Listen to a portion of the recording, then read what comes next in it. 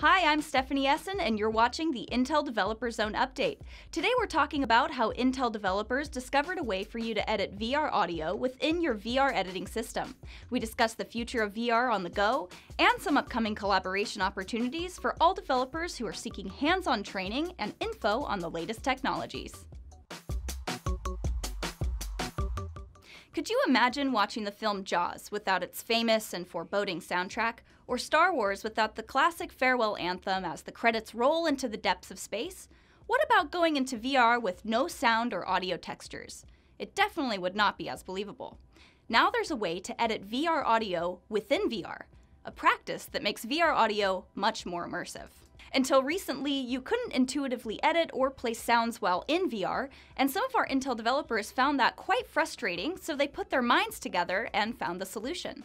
In the article, How to Build a Custom Audio Editor with Unreal Engine for Sound Spatialization in VR, it gives you the tools and steps to create your own sound editing system within VR, along with a project link download. Read the article in the links and see how to set it up to take your own VR audio mixing process to the next level. Virtual reality is going mainstream. You no longer have to invest in expensive and high level equipment in order to get a high quality VR experience. It's hard to believe that the man who made this a reality once said, I'm never going to create a VR game. Little did Dirk Van Welden, CEO of I-Illusions game and multimedia studio, know that he would create the game that set it all into motion Space Pirate Trainer. Van Welden, along with Intel developers, discovered that the key to this accessible world was through integrated graphics. Because of this, you can use VR anywhere you go on a small and compact device like your Microsoft Surface Pro, Intel NUC, or Ultrabook. Afraid you'll lose the quality of a high-end VR setup? Check out these side-by-sides of the sides of the integrated graphics game versus the original. Not bad. Follow the links provided to learn more about how you can use integrated graphics in order to make your VR games more accessible.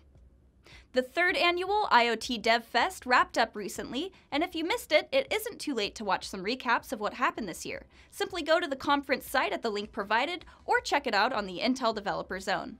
This is considered the industry's premier online forum for everything IoT related, and for a good reason. They'll take you on a two day journey filled with demonstrations led by IoT thought leaders and tech experts, insights into the next wave of innovative technology, tools, and training on every stage of the development cycle, and much more. You can also see video replays of the keynote presentations on YouTube.